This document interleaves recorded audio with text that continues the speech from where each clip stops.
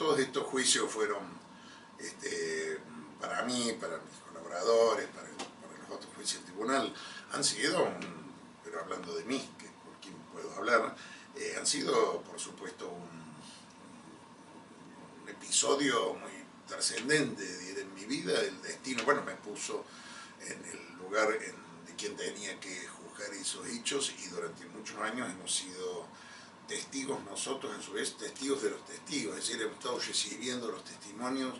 del dolor, de las atrocidades, de los, horrores que se han este, cometido y a la vez este, con, la, nuestra obligación y compromiso de salvaguardar los, derechos y garantías de los imputados. Así que, que nos ha obligado a un,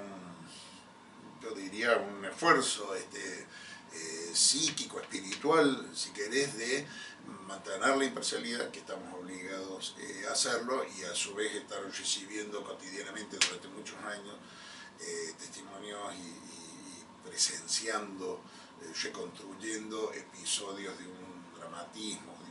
de, un dolor y de una angustia realmente muy fuerte.